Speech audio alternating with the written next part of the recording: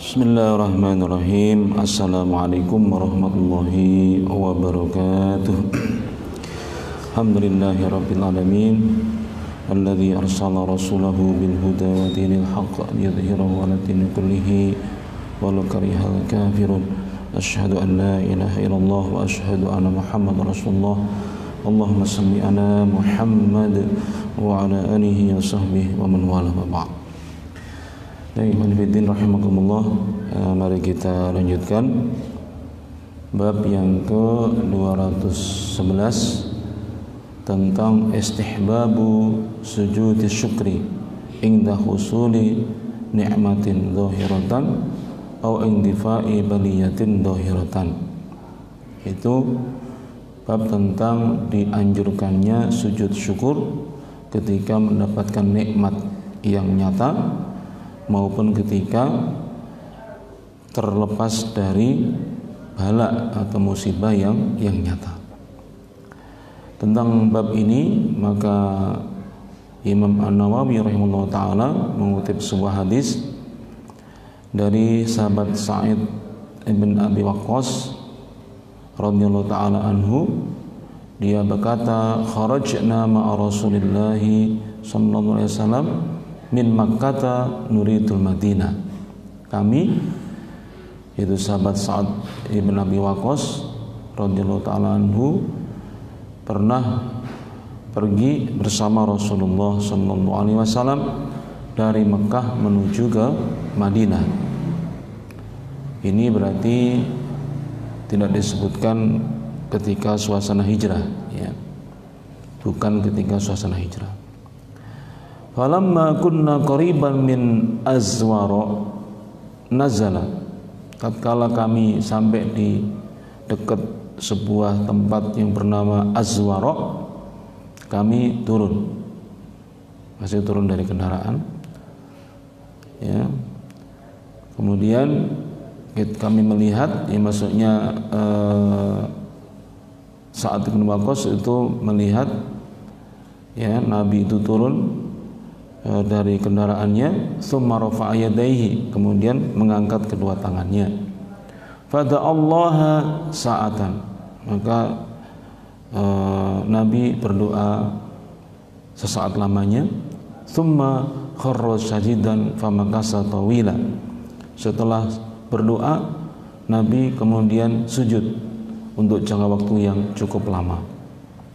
Summa qama farafa yadayhi sa'atan. Setelah sujud selesai. Maka kemudian beliau kembali e, mengangkat kedua tangannya sesaat pula. Summa kharra sajidan. Kemudian kembali sujud. Fa'alahu salasan. Itu dilakukan Nabi sebanyak tiga kali. Setelah tiga kali Nabi kemudian bersabda inni sa'altu rabbi wa syafa'tu li ummati. Sungguh aku tadi meminta atau berdoa kepada Tuhanku yaitu agar aku bisa memberikan syafaat kepada umatku. Fa'atoni sulusa ummati. Maka Allah kabulkan ijabai berikan kepadaku memberikan syafaat kepada sepertiga umatku. Fakhartu sajidan li rabbi syukra. Maka kemudian aku langsung sujud sebagai ungkapan rasa syukurku kepada Tuhanku. Summa rafa'tu ra'si fasa'atu rabbi li ummati. Setelah itu aku kemudian menegakkan mengangkat kepalaku lagi dan kemudian berdoa kembali meminta kepada Tuhanku untuk umatku maksudnya adalah agar memberikan syafaat fa'atoni sulusa ummati maka kemudian Allah Subhanahu wa taala mengabulkan untuk sepertiga umatku yang berikutnya sehingga menjadi dua per tiga.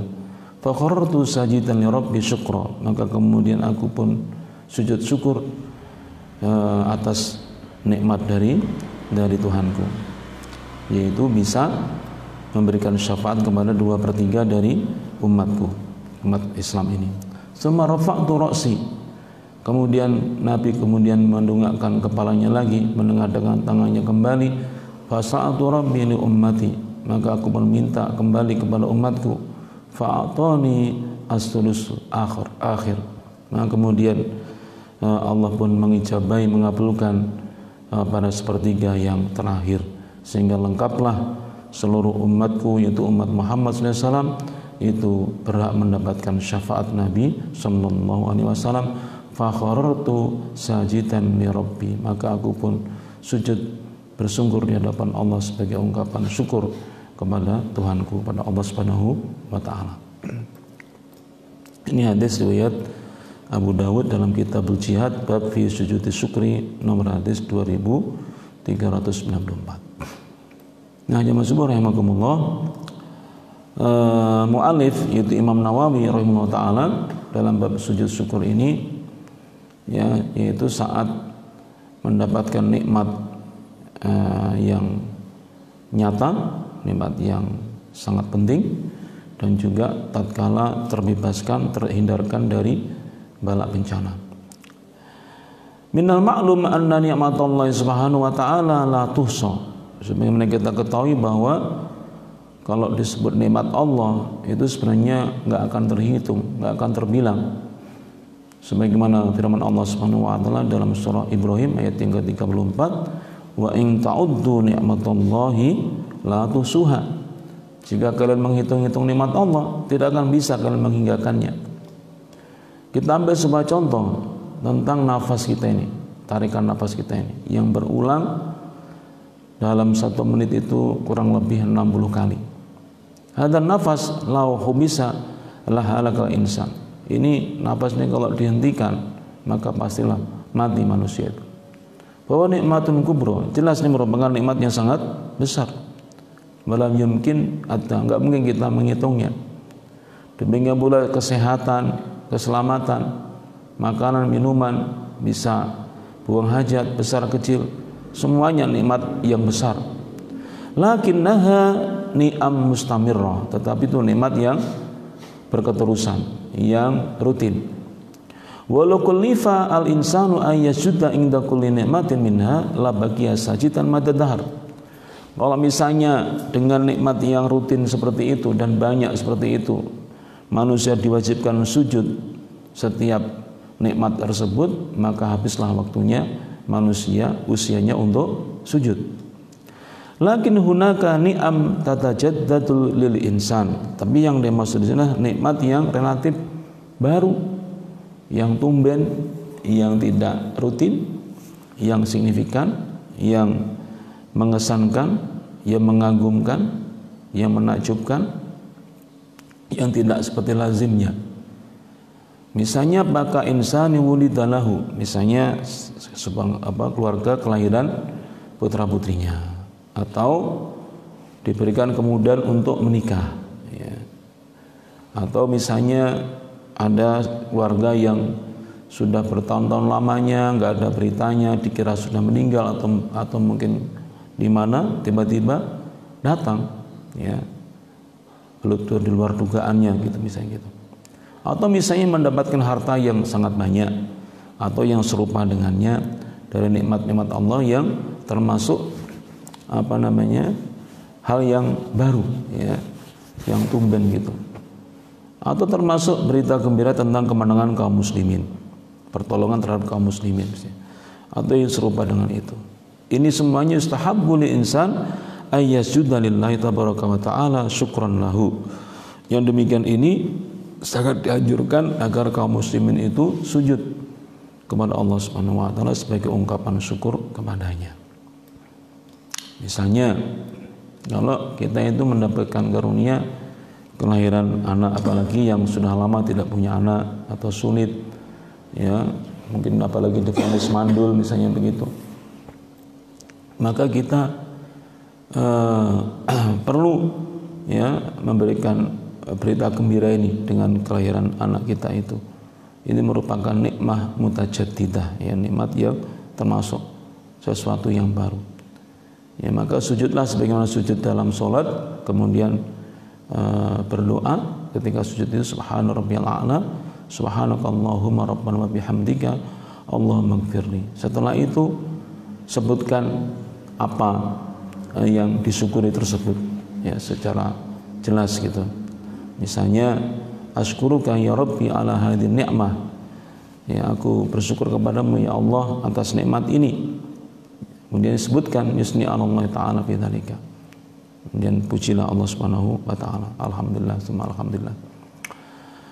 Nah, itu uh, jenis yang pertama yaitu bersyukur, sujud syukur karena mendapatkan nikmat yang mutajaddidah, nikmat yang relatif baru yang dohiro, yang betul-betul ya relatif luar biasa bagi kita.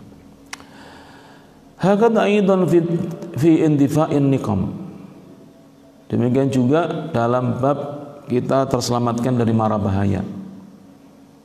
Manusia itu ya, tentu e, berusaha untuk supaya bisa selamat selama-lamanya. Ya.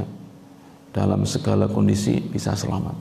Tetapi kadang-kadang e, ada sebab yang e, kita bisa terselamatkan dari mara bahaya itu dengan proses yang menakjubkan ya dan tentu saja ini terlepas dari kekuasaan Allah Subhanahu wa taala. Contohnya adalah misalnya ada orang itu yang berjalan di pinggir jalan, sudah di pinggir jalan maksudnya.